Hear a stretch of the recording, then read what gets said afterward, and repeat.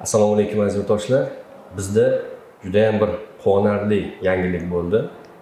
Bu yangiligimizni sizlar bilan ulashish maqsadida bugun bir intervyu tashkil qildik azizlar. Ya'ni xabaringlar bor. Prezidentimiz tashabbusi bilan shu yilning may oyida chet tillarni rivojlantirish agentligi tashkil qilingan edi va agentlikka e, toshkent shahar vakilligi bo'yicha e, rahbar qidirilayotgan edi. Ya'ni vakansiya bor edi. O'sha lavozimga kimni qo'yar ekan degan bir e, qiziqish bor edi. Va e, bizda quvonarli voqea bo'ldi. Ya'ni aynan o'sha chet tillarni rivojlantirish agentligining toshkent shahar vakilligiga bizning ya'ni target o'quv markazining bosh o'qituvchisi ingliz tili va ielts bo'yicha mutaxassis tiso e, sertifikatiga ega bo'lgan mutaxassisimiz shahzod kabilovni loyiq topdilar azizlar. Shahzod bu bilan chin yurakdan tabriklayman. Rahmat. Judayam zo'r quvonarli bo'ldi. Biz uchun bizni targetimizni tarixi uchun ham judayam quvonarli voqea bo'ldi. Ya'ni e, biz hech kutmagandik. Davlat tashkilotlari davlat agentliklari xususiy e, sektordan ya'ni e, xususiy ta'lim berayotgan o'quv markazlaridan mutaxassis olib davlat sektoriga qo'yishini biz hali tasavvurimizga sig'dira olmasdik. Mana azizlar shunaqa voqealar bo'ldi shahzod e, mana tayinlandilaring. Ya'ni e, seni rasman buyruqlar ham chiqdi xudoga shukur ya'ni o'sha toshkent shahar vakili rahbari degan buyruqlar chiqdi. Kechinmalar qanday bo'lyapti? Bu agentlikni maqsadi nima ekan? Va agentlik oldiga qo'ygan hozir ustuvor e, vazifalar nimalardan iborat ekan? Ya'ni senga qanaqa vazifalar topshirildi? Shu haqida bir yurtdoshlarimizga qisqacha ma'lumot bersang assalomu alaykum bekzod aka. Assalomu alaykum bizani kuzatib turgan muxlislarimiz azizlarimiz. Albatta rahmat avvalambor shu bugungi e, intervyumiz tashkil qilinganida. Va albatta to'g'ri judayam quvonarli holat bo'ldi. Ya'ni o'sha prezidentimizni may oyidagi ellik bir o'n yettinchi e, qarorlari bilan tashkil etilgan e, xorijiy tillarni o'qitish o'rganish ommalashtirish agentligi tuzilgan edi. Haqiqatdan ham bu agentlik aytganingizdek judayam bir anavi Э, yangicha bir э, burilish yasadi deb э, hisoblayman. Chunki xususiy sektor xususiy sektor oddiygina o'sha o'qituvchi bo'lib yurganimizda ham chaqirib bizani loyiha ko'rishdi. Bundan ham juda yam xursandmiz rahbarlik lavozimidan oddiy o'qituvchi bo'lib turib misol uchun endi oddiy o'qituvchi deyilganda ya'ni o'quv markazimizda har kunlik katta o'qituvchi deb aytilgan taqdirda ham kelamiz. El qatori hammamiz ustozlar bilan yelkama yelka turib e, turibmiz va haliyam bormiz va xudo xohlasa target hech qachon targetdan ketish yo'q. Shunisi bor qo'llab quvvatlash xudo xohlasa albatta e, bardavom bo'ladi nasib qilsa. E, endi bu agentlik tuzilishini kirganimizdan keyin strukturasini o'rganib chiqqanimizdan keyin albatta bu narsa o'sha prezident qarorlari qanchalik muhimligiga? Bugungi kundagi o'sha xorijiy tillarni o'rganishi nafaqat faqatgina o'sha ustozlar ingliz tilidan dars beradigan ustozlar emas balki o'sha davlat xodimlari davlat tashkilotlarida barcha barcha barcha o'sha butun o'zbekiston ahlini xorijiy tildagi bo'lgan muhabbati faqatgina ingliz tili emas judayam ko'p tillari bor. Xorijiy tillarni ommalashtirish ularni har bir har bir davlat ishlaydigan kadrlar xususiy sektor bilan hamohang. Ya'ni xususiy sektorni rivojlanishi juda yam davlat strukturasi uchun qiziq tuyulgan ekan. Va nima sababdan bular rivojlanishi tezu davlatda qanaqadir demak o'sha aynan xorijiy tillarga nisbatan qanaqadir bir deylik oqsanish deymizmi yoki qanaqadir bir muammolar bo'lgani sababli xususiy sektor jalb qilindi. Va bundan man o'ylaymanki judayam bir judayam katta loyiha hisoblanadi. Albatta Э, toshkent shahar vakilligi э, ishonib topshirilgani bu man uchun bir yana bir kuchli bir motivatsiya bo'ldi to'g'risi.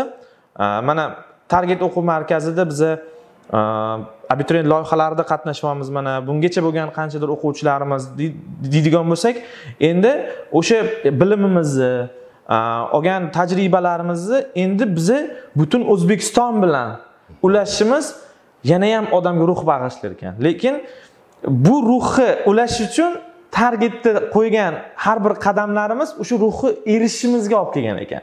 Ya'ni targetdagi har bir kundagi olgan e, sizdan mana bekisdagi ustozimiz sifatida motivatsiya olganmiz yoki deylik e, o'nqir cho'nqirliklardan birga o'tdik yelkama yelka deylik o'n to'qqizinchi yilda o'sha bu yoqda man target o'quv markazida ishlab ish boshlagan bo'lsam hammasi yaxshi.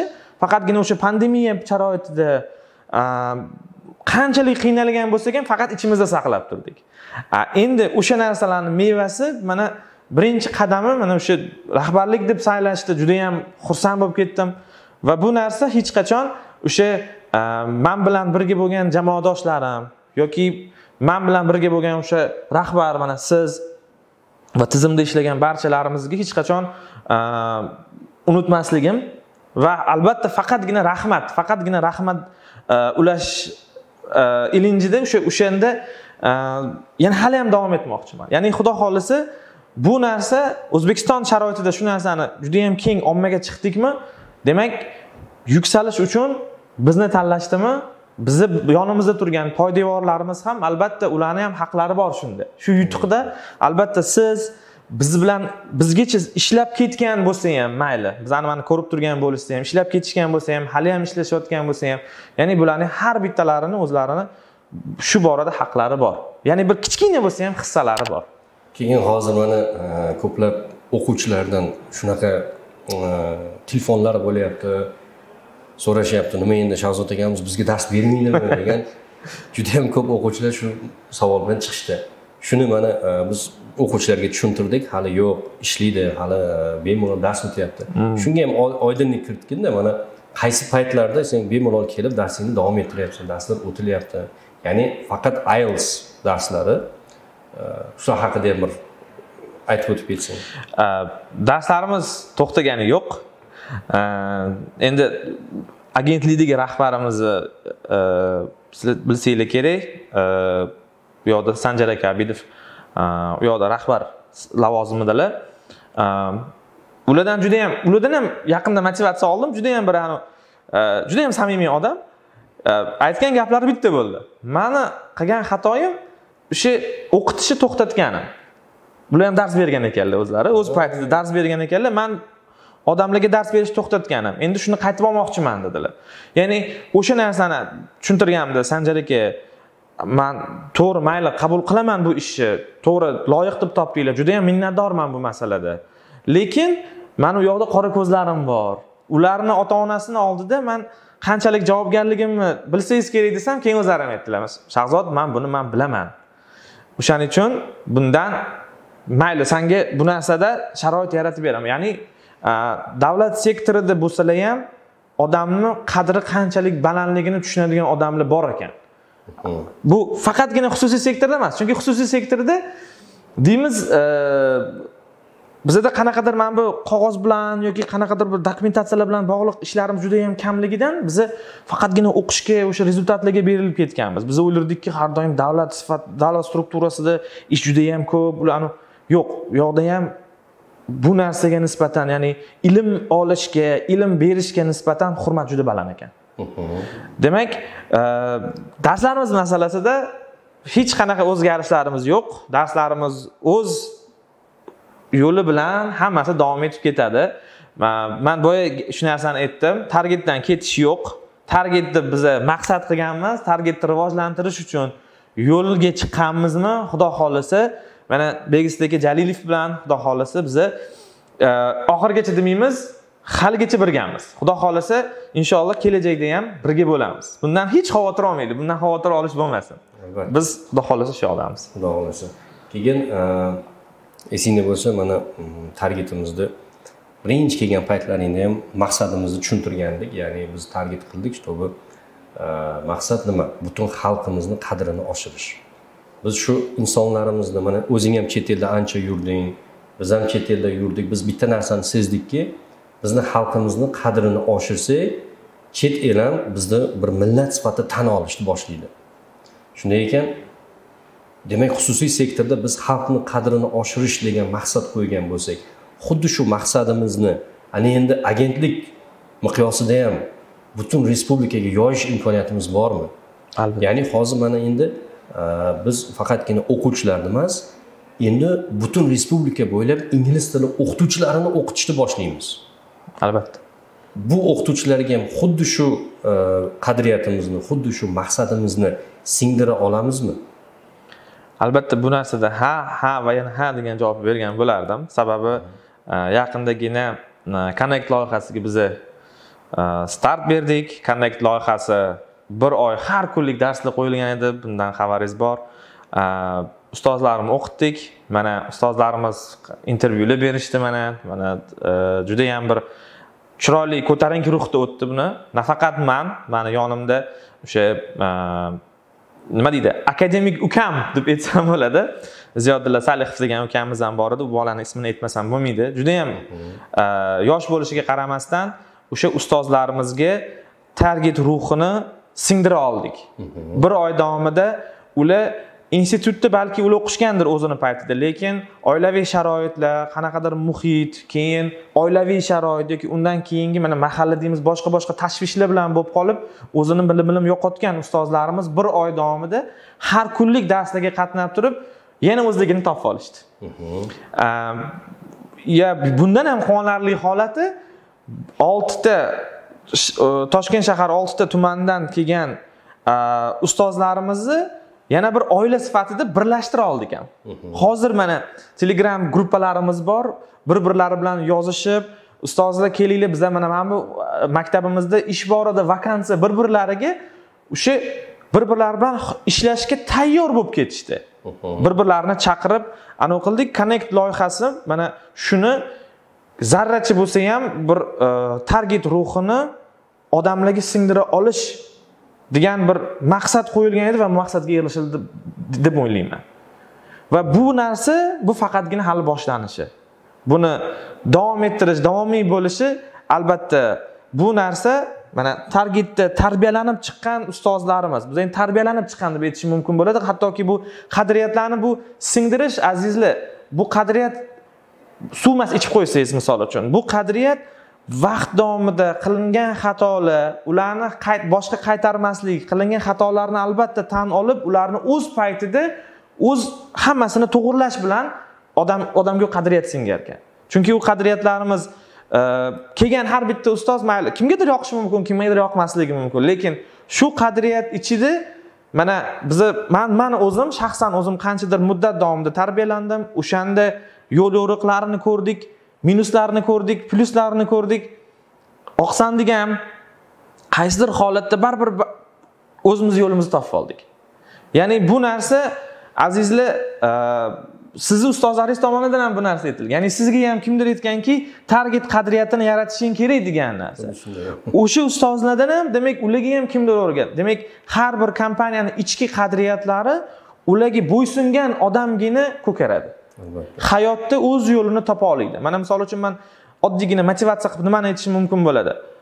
Ko'pchilik o'ylaydiki mana e, odamlar ey ustozlik mana bizaga ham intervyuga kelishadi suhbatga kelishadi bizaga. Suhbatga kelgandan keyin man boshqa joyda o'qiyman lekin hozir faqatgina tirikchilik uchun shu bir qism nonimni topishim uchun man o'qituvchilik qilaman degan narsa. Albatta o'qituvchilik kasbiga odamlar ozgincha e, bamayli xotir deymizmi yoki juda yam yengil qarashadi deymizmi? Man sizni ishontirib aytishim mumkin bo'ladiki mana bekis aka o'zizni xabaringiz bor. Shuni shu kasbim orqasidan o'zimga yarasha o'sha biznes deymizmi? O'shanga erishdik. Orzu havaslarimizni yo'lga qo'ya oldik. Albatta bu narsa erishiladi qachon? Shu kasbga mehringiz bo'lsa shu kasbdagi o'sha eng kuchli narsa halollik o'z paytida o'sha lafzimiz ya'ni o'sha narsalarni biz to'g'ri bajara olishimiz va o'sha narsa o'sha siz ishlayotgan rahbaringizni yoki ishlayotgan joyingizni tuzlig'iga tupurmasdan ya'ni ishlashingiz albatta sizni ko'kartiradi albatta har bitta odam uchun hattoki deylik hayotidagi finans mana moliyaviy tarafdan deylik ma'naviy tarafdan ham juda yam katta baza yaratib berishi mumkin ekan ya'ni oddiygina bitta o'qituvchi bo'lib turib ham odam oila boqish mumkin ekan oilasidan tashqari biznes qilish mumkin ekan yoki undan tashqari orzu havaslarini qilish mumkin ekan. Va bu narsalarni man haqiqiy erishayotgan endi bu faqatgina man erishdim demayman Al- albatta parvardigor bu narsada eng katta sababchi hisoblanadi lekin uni uning sababchisi bo'lishi uchun ham odam hayoti dunyoda o'sha barcha haqiqiy rost rostakam narsalarni ya'ni o'sha to'g'ri odamzodga to'g'ri keladigan. Haromdan qochib to'g'ri ishlash albatta bu odamga qanaqa kasb bo'lishidan qat'iy nazar barakali bo'lar ekan. Va endi qo'shimcha qilib aytishim mumkin bo'ladi. Har bitta odamga ilm ulashishingiz u odamni qachondir bugun bo'lmasin ertaga ertaga bo'lmasin qachondir bir odamga yaxshilik qilishingiz siz ilmingiz orqasidan bo'ladigan bo'lsa albatta sizga ma'naviy jihatdan investitsiya bo'lar ekan. Albatta. A bu narsani endi o'rtoqlar rahbari bo'lib boshqarish endi bilmadim ho'p e, mavzuga qaytsak mana mm, xudo xohlasa agentlikdan endi biz nimalar kutamiz? Mana e, o'zim ham borib tanishdim agentlikni jamoasi bilan. Judayam kuchli jamoalarni yig'yaptilar.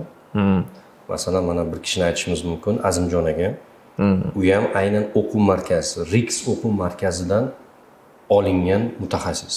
Ya'ni e'tibor bersak o'sha o'quv markazlaridan olishyapti va xususiy sektordan olyapti kadrlarni.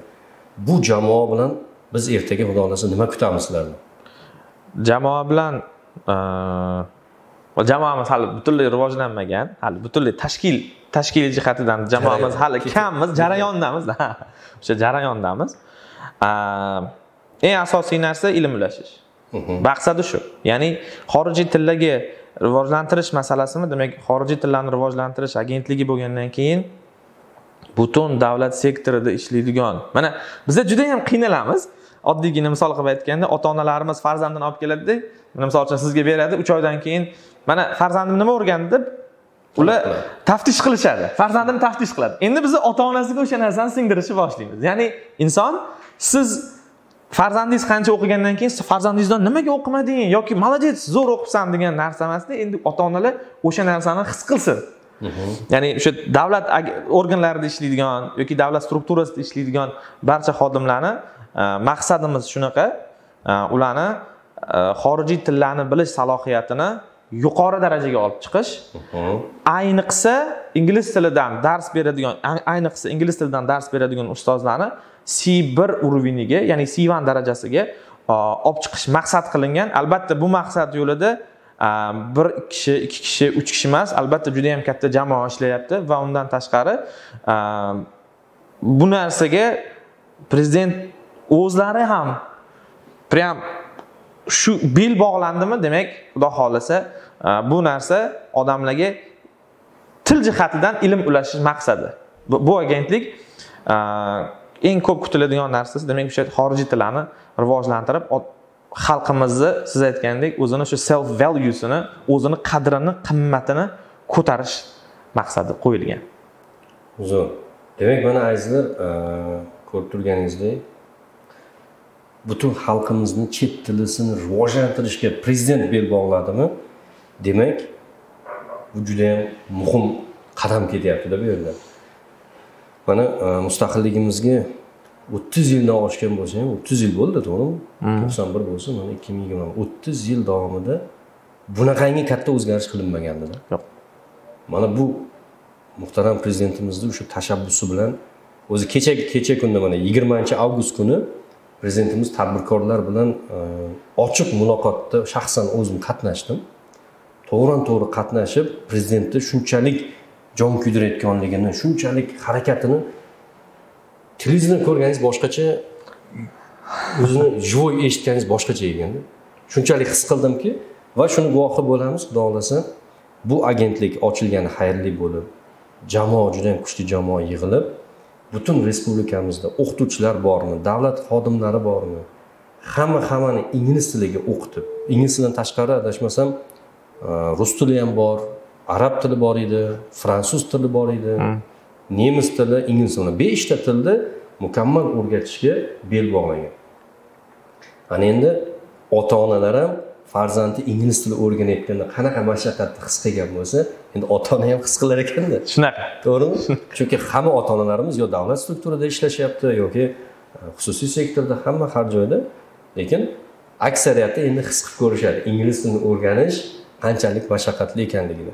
Va yana bitta e, o'zimizda o'qigan o'sha connect loyihasida o'qigan o'qituvchilarni yuzida bir narsani sezdimki shu paytgacha maktabda dars berishdan o'zlariga shu pul topsam oilamni ro'zg'orimni qilsam degan maqsadi bo'lgan va hozirgi kecha kunduzga kelib ana endi ular xalqni xizmatida shu yosh avlodga ilm ulashib shu hissamni qo'shaman ummatimizni va e, xalqimizni rivojlanishiga degan tuyg'u paydo bo'ldi deb o'ylayman. To'g'rimi yo'qmi albatta. O'sha connect loyihasida o'qiyotgan chunki davlat strukturasida o'qiyotgan o'qituvchilar ishlayotgan o'qituvchilar xususiy sektorda nima bo'layotganini bilmas edi ular bir oygina xususiy sektorni ichiga kirishdi o'qib ko'rishdi va his qila olishdiki biz hammamiz xalqni qadrini oshirishda xizmatdamiz. Demak e, faqatgina ingliz tilini rivojlantirmadik balkim maqsad qo'ya olishi qilayotgan ishini sevishini ham o'rgatdik deb o'ylayman to'g'rimi? Albatta shunaqa. Zo'r. Demak xudo xohlasa bundan keyingi ishlarda katta zafarlar tilayman shahzod xalqimizni xizmatida charchamaylik va keyingi suhbatlarimizda yana bir yangiliklar bilan ko'rishamiz xudo xohlasa. Azizlar bizni kuzatishda davom eting. Xudo xohlasa bundan kuchli yana yangiliklar sizlar bilan ulashamiz. Sog' bo'linglar. Rahmat shahzod. Salomat